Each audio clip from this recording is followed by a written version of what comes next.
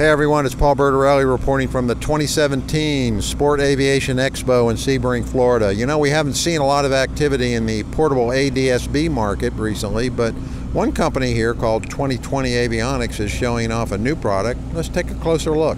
2020 Avionics is proud to be a part of the, the expo this year uh, for the first time. We're introducing our dual channel ADSB uh, 978 and 1090. Uh, you get TIS-B, which is traffic, and FIS-B, which is weather, and which includes METARs, TAFs, and NEXRAD radar. Um, then, as a companion product, we have the GPS system, and uh, we're, we're currently moving to make this one integrated product, which we're in the prototype stage of, of that.